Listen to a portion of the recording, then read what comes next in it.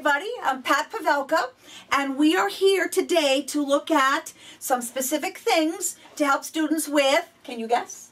Questioning. So, you see these materials on the table here. Oh, it's not a magic trick. Sorry. This is what we're going to look at. It's hard in the classroom, many times, to get our students to ask thought-provoking questions. And it's also difficult sometimes for yourself to keep coming up with great questions. And children are in so many different books. If we can give them a repertoire and you a repertoire of high level question prompts, and then you always have them here at your fingertips. So we have what we're going to call question cups. This is standing up in here because these are in the can, or actually not the can, the cup. Here's our when. So these are just the marbles that you would use in a vase to hold flowers up. You could use regular marbles. You could use dirt or sand if your children can behave. So you have to decide what's going to be best to put in here. You basically want something so that you can just, boom, put your sticks in and they'll stand.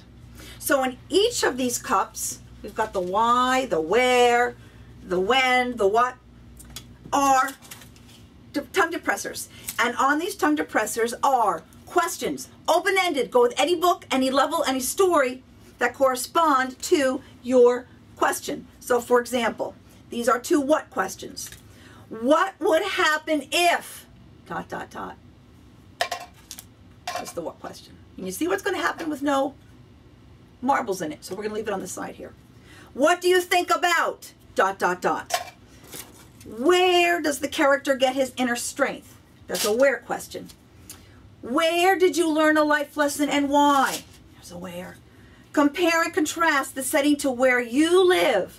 Another where. So all of these cans, when you're done, will have a lot of tongue depressors, and there are all your open-ended questions to go with any level, any story, and boy, are you going to be able to ask these questions fast. Sometimes I can't think fast enough, and I need to ask a question. There's my question.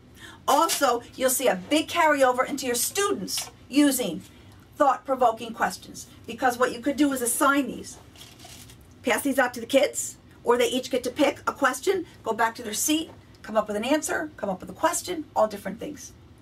So, for a little bit more information, you have two downloads available.